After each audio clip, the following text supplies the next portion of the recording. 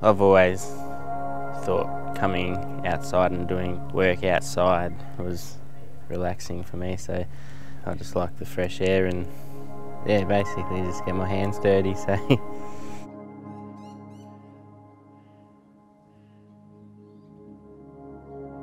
Uh, we've been introduced to the gardening project from some of our youth workers at Mind Australia.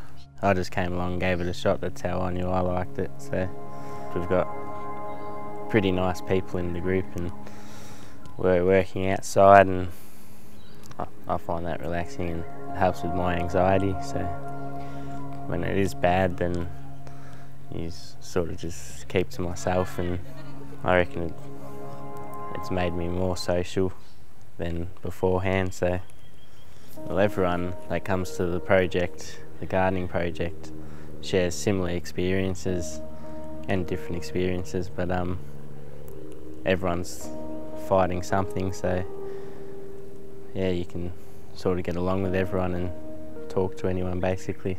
So, yeah, I feel pretty good about putting my ideas in and taking the skills that I've learnt from this project boost my confidence up. So um, yeah, I reckon I'd leave Mind Australia with more confidence.